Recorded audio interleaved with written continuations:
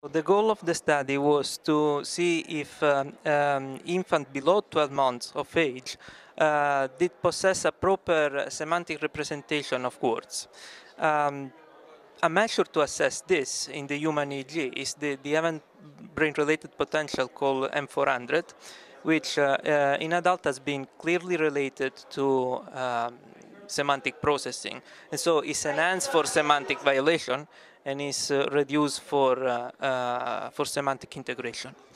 And the way to assess it is using uh, uh, a prime and a probe. A prime could be a sentence or uh, lexical context or even a picture, which is useful in the case of infants. And the probe is, is usually a word. Um,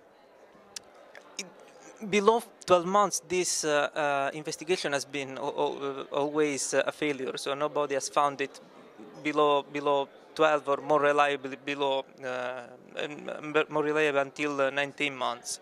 And we uh, want to change many things in the paradigm, and we establish a more live situation where the motor was uh, uh, priming the, the, the, word, and as probe we use, uh, we use a picture.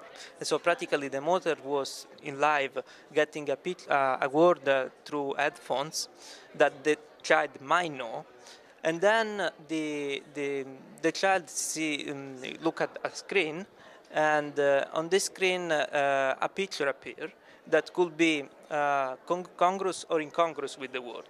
So it's a modified paradigm that is especially designed for infants and uh, it maximizes the likelihood that uh, the infant might understand that the word just heard it refers to the, the picture is going to see on the screen.